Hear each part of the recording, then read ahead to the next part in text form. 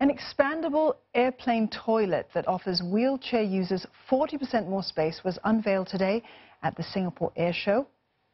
Now, the extra space allows that toilet to fit a wheelchair inside. It also has user-friendly features such as grab bars and a sink that is lower than usual to make it easier to reach.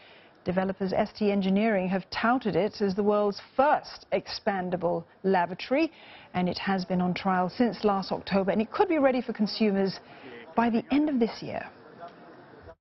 I try my best not to go to the toilet unless absolutely necessary, right? Uh, I limit my drinking of the water also sometimes. I think it's just the first design that they had, so I gave them some uh, ideas for improvement. I think if they work on it, I'm sure they'll come out with a better design. Yeah.